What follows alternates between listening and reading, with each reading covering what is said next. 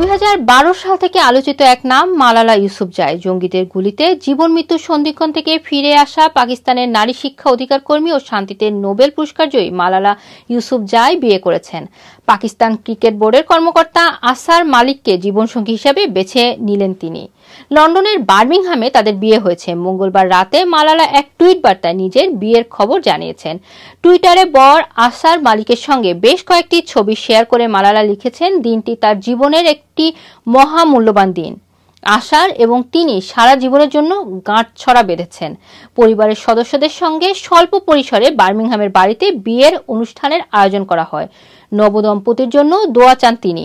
তালেবানের বাধার পরও নারী শিক্ষা বিস্তারে কাজ করে যাওয়ায় দুই হাজার বারো সালে জঙ্গিরা তাকে গুলি করে, কিন্তু ভাগ্যক্রমে তিনি বেঁচে যান।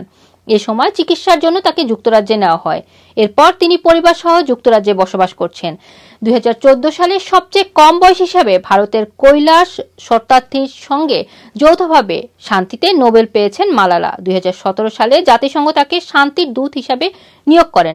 মালালার বিয়ের পর থেকে কে এই আশার মালিক, তা নিয়ে মানুষের প্রশ্নের শেষ নেই। পাকিস্তানের জিও নিউজের এক প্রতিবেদনে বলা হয়েছে, আশার মালিক পাকিস্তান ক্রিকেট বোর্ডের হাই পারফরমান্সাল বিভাগের জেনারেল ম্যানেজার। তিনি দুই হাজার বিশ সালের মে মাসে ওই পদে যোগ দেন।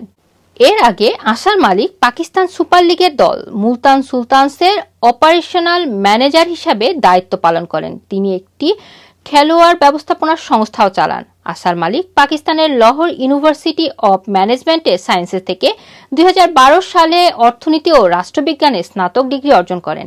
এই ছিল আমার কাছে মালালা ইউসুফ জাইয়ের বিয়ে সংক্রান্ত বিস্তারিত তথ্য। যুক্তরাজ্য সহ বিশ্বের এমন সব গুরুত্বপূর্ণ তথ্য জানুন রানারের ইউটিউব ও ফেসবুক পেজে।